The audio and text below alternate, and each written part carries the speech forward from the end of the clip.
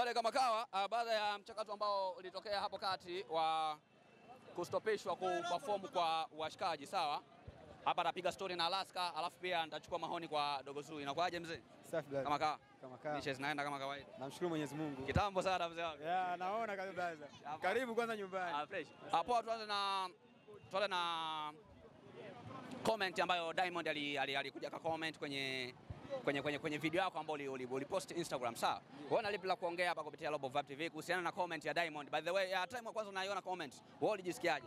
Da, furaha sana brother. Yaani nilipaa mimi mwenyewe, nijikuta nilipaa na sina uwezo wa kupaa. Ila najikuta tu nilipaa kwa sababu ni Okay. kitu ambacho hakijawahi kutokea. Sijawahi kukiona labda Diamond kucomment kwenye Instagram ya mtu au kwenye page ya mtu kwenye video challenge yake. Yeah. Sijawahi kuona. Okay. Kwangu nikaona kama ni ajabu sana. Kwa hiyo ni kitu ya kumshukuru Mwenyezi Mungu. ya. Okay. Ndio. Ikiwa Diamond amebahatika kutazama klipu hii ambao uh, tuna, tuna, tunafanya mahojiano ndani ya dakika chache sawa.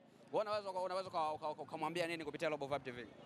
Ya cha kumwomba tu mimi ni dansa ambao nipo Kigoma najituma, naomba support yake sana. ya na imani huenda akiniweka pembeni yake au akini akiz- akinisupport kwa kazi yangu naifanya, mtazidi kufanya mengi na huenda malengo yangu nikatimiza Yeah. nikiwa karibu yake. Okay. Na leo uh, ni moja kati ya siku ambazo kiuhalisia tulikuwa tunasema kuwa tunakuja kufanya historia sote kwa pamoja, sawa? Na, lakini baada ya kufika Ukombeni pale kuna uzuizi ambao ulifanyika huku uongozi ambao umesimamia eh, kapo hii sawa, wakidai kuwa mmefika chelewa. Hii ishu ikoje? Na kwa upande wako wewe unahisi kuwa wamewanyongea au wapo sahihi?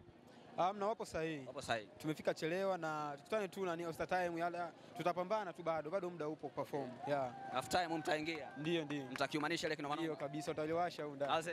kabisa. Eda, tusikuchukulia sana time sawa. Hapa inapiga ha, eh, Bilombe sawa, alafu pia Bilombe ina, ina, inapiga inapiga mechi na AB3 Abei sawa. Wewe ni timu gani kati ya hizo mbili?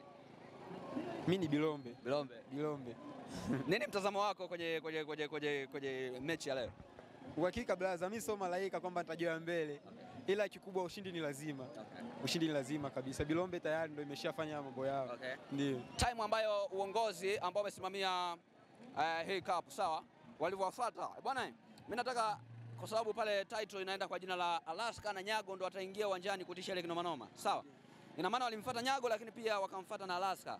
Wakati ambao walimfuata Alaska eh, kuna pesa yote ambayo ime, ime, imefanya kazi au ndo vile imetokea tu yani kishabiki eh, bwana, huyu ni, ni shabiki wa Bilombe anatakiwa aje akiumanishe humu uwanjani kabla mpira wa kwanza.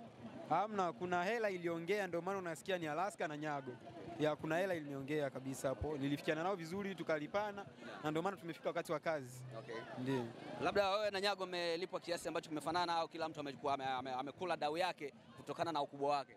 Ah, sijui sasa kama amelipwa cha chini, kama amelipwa cha juu, mimi sielewi sasa, Au ila na imani Yeah. Nimepewa makoto mazuri na mimi pia nimepewa makoto mazuri ya kawaida. Poa.